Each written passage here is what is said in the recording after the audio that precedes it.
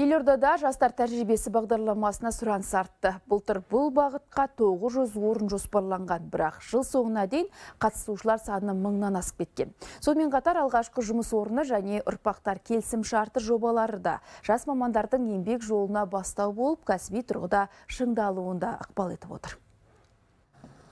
Жарқынай елордадағы жоғары оқу орнын құқықтану мамандығы бойынша былтыр ғана тәмамдады. Ол еңбек жолын алдымен жастар тәжірибесі бағдарламасымен ұштастыруды ұйғарыпты. Осы әдіс арқылы қалалық қылмыстық істер жөніндегі ауданаралық сотында тағылымдамадан өткен. Мүмкіндікті тиімді пайдалана білген Жарқынай кейін сол мекемеде жетекші маман болып тұрақты жұмысқа орналасты. Негізгі келісім шарт 6 айға созылады. Мен мұнда өз төрт ай бойы жұмыс жасап, біліктілігімді көрсете біліп, төрт айдың ішінде осында жұмысқа орналаса алдым. Жастар тәжірибесі жобасы жалпы өте тиімді болды. Маған деген үлкен мүмкіндік болды. Жұмыс барысы қатты қиын емес. Өзімнің тәжірибелі әріптестерімнен де үйренерім көп үйреніп алып жатқандарым да көп. Мекемелер мен өндіріс орындарының көбі қызметке тек еңбек өтілі бар мамандарды алады. Сондықтан дипломын енді ғана алған жастар жұмыс таппай әлек болатыны рас. Жастар тәжірибесі жобасы дәл осы мәселені шешуге бағытталып отыр. Биыл астанада бұл бағдарлама аясында 900 квота бөлінген. Былтырда сот 900 болды бірақ біз 900-ден асып 1052 адам қатысты. Жұмысқа орналасу бір елу пайыздай бар. Тұрақ иә тең жартысы жұмысқа тұрып кетті.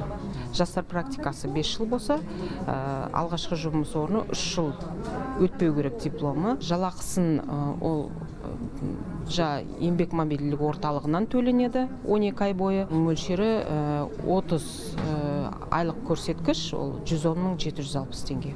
Сонымен қатар жұмыс берушілер ұрпақтар келісім шарты жобасы арқылы ұжымдағы зейнет жасына таяған қызметкердің ізбасарын дайындай алады. Яғни тәжірибелі маман зейнеткерлікке жарты жыл қалғанда жас кадрға жетекшілік етіп тағылымдамадан өткізуі тиіс.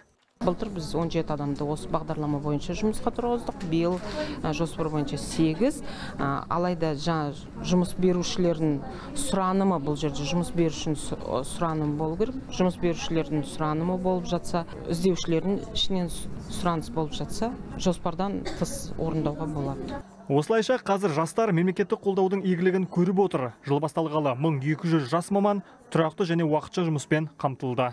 Еркебұлан смадияров арман ақшабаев рыстанбек оспанов 24 кз.